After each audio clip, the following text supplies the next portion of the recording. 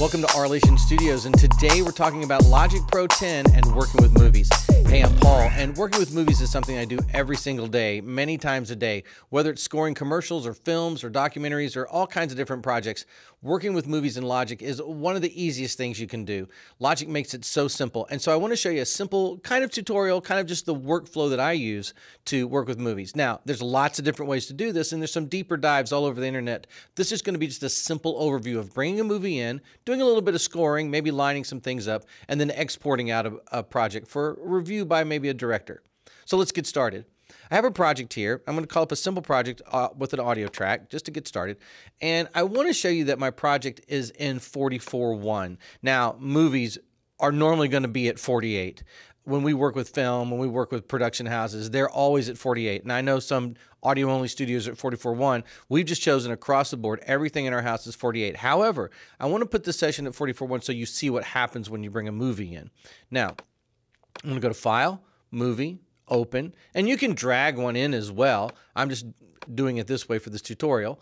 Now, this is my preview movie. This is a stock movie we bought. It's a little scary kind of movie. I want to bring it in. And first of all, uh, Logic's going to ask two questions. Do you want to open the movie? Yep, that's why we're here. And do you want to extract the audio? Do I want to play the embedded audio from the movie or do I actually want to bring the audio in as a track so I can do some stuff with it? And I do want to bring it in. So Logic then starts yelling your session's at 44.1, your movie's at 48. Do you want us to change your session or do you want to keep it at 44.1?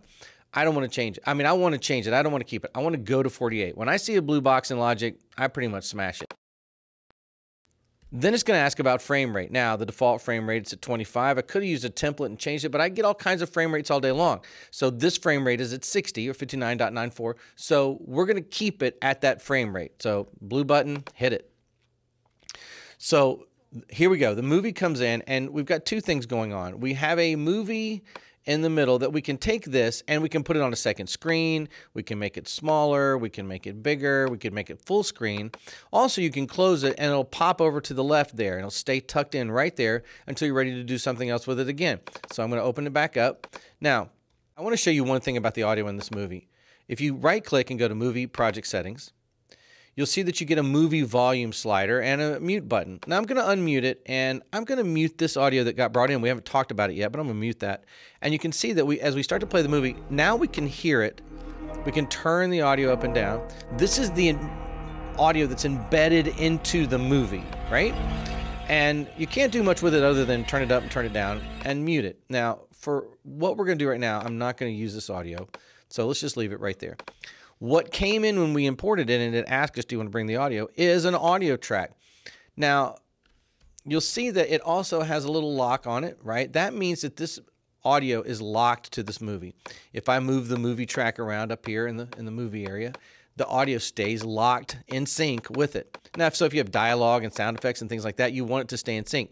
You can unlock it by going down to SMPTE lock and unlock and now I can move the audio, and the movie will uh, and the movie will stay in place.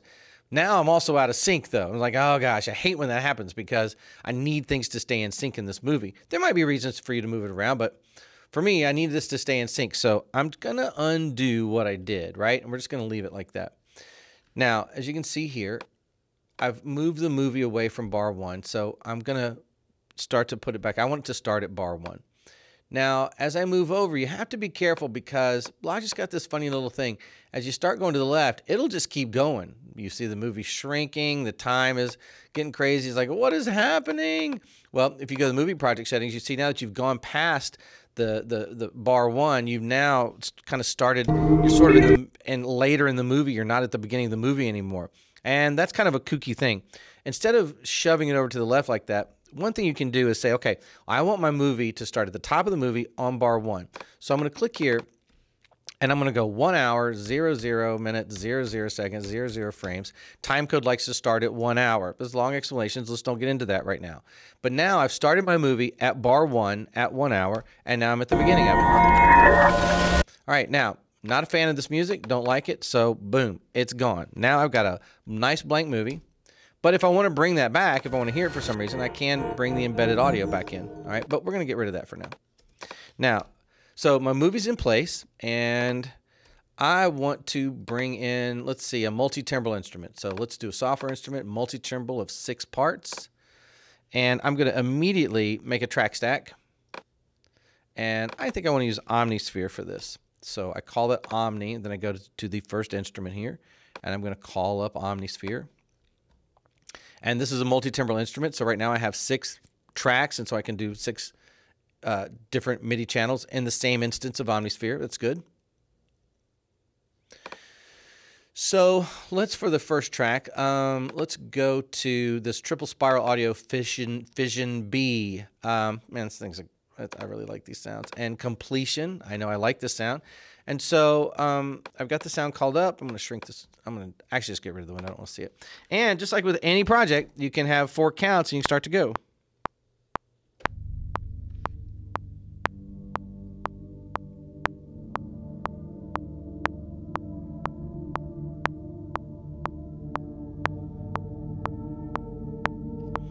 Not bad, not bad. And like with any project, you can just have four clicks and start to go. Here we go.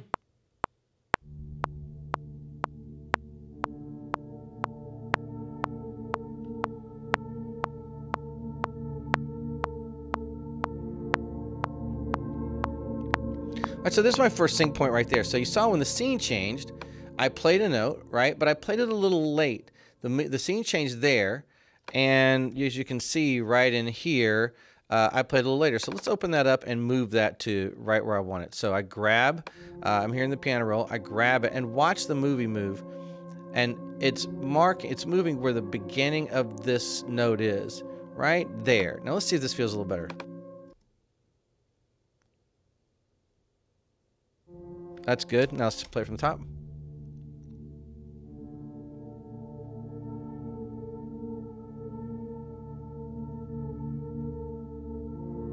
Good, like that. Now, um, let's have a second sound. So I'm going to go to instrument 1, channel 2 in Omnisphere, call it up, go to the second multi-timbral instrument, multi uh, MIDI channel if you like.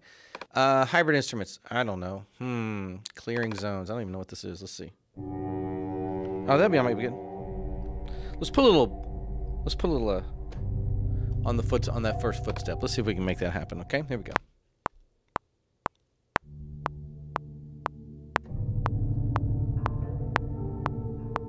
That's kind of fun. I like that. Now, I want to work with this a little bit.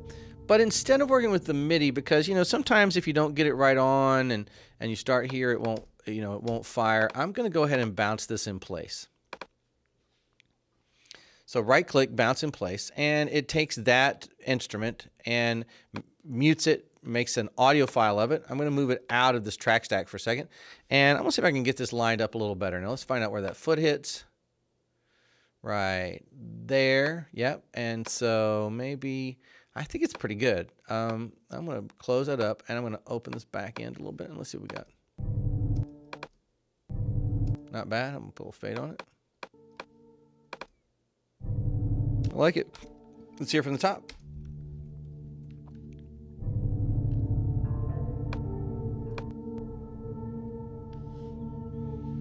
All right, so now I think with some of the footsteps, I'd like to put a couple piano notes. So I'm going to call up a new instrument. And um, let's go to Piano Tech. And on this instrument, let's go for the cinematic instrument, but I also want to throw some good verb on there. So I'm going to go to bus two here, and I'm going to throw up maybe Raum from Native Instruments. And let's use one of those big, fat, uh, huge, like um, uh, ethereal acoustic. Let's see.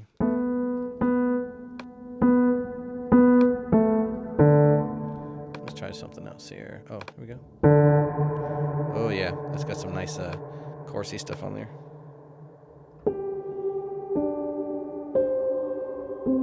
Now let's see if we can get uh, these, some of these footsteps lined up here. Let's see how cool that would be. All right, back up.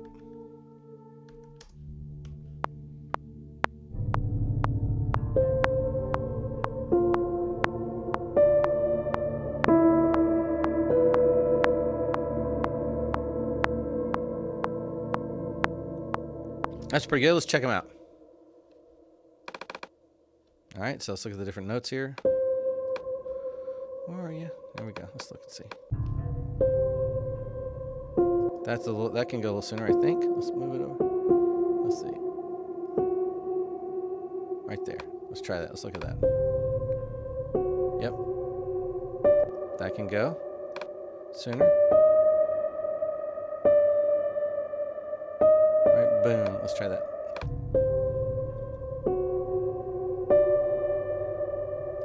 And then that one. Let's move them over. Right there. Now that looks better.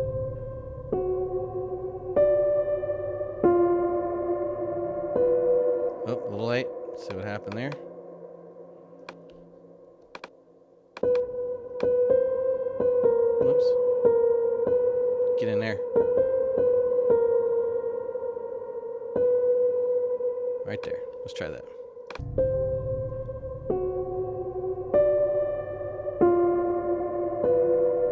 There you go. So everything's nice and lined up, right? So now we've got everything lined up. I want to export it and I want to show a director, right? So I'm going to select this cycle and you can do this two ways. You can just drag that cycle bar over or you can go to the custom um, transport and type in. Maybe I want to just do straight up, you know, 10, you know, bar 10. Um, won't go. There you go. 10, 1, you know, if you want to do it like that. Or just open the Skype right there. Now, I'm going to export this audio to a movie so that can be viewed by somebody else. So I'm going to movie. This is how hard it is. Export audio to movie. Boom. Now, decisions that you have to make here. First of all, you've got to name it. And then the audio you put in it down here is you can have AAC for a smaller file, or you can put in, you know, PCM audio at 48 for a bigger file. You can do 24 bit if you want. I'm gonna just do a large audio file, so I get some a, a good quality on the audio. Now, here's what it's asking me. Remember that embedded audio we talked about? Now, do I want to put that embedded audio back into this? Let's say maybe it was just dialogue in this movie and there was no music. Now I haven't been listening to it, but maybe I'd like it to put it back in. If you click enabled on several tracks, then it will put that dialogue in this movie. I don't want any of the old audio, so I'm, I'm going to deselect everything. All right, now it's going to bounce it, and then it's going to put it in the movie.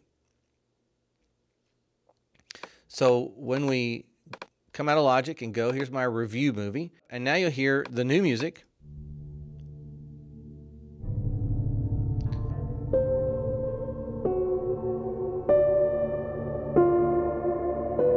and you have a movie that's only the length of what we spit out. Maybe you have a 20 minute movie. I just need to show this 18 seconds right here. So that's how that long, that's how long that movie is. You can pop that in Dropbox or anything else you want to and send it on and get a nice review.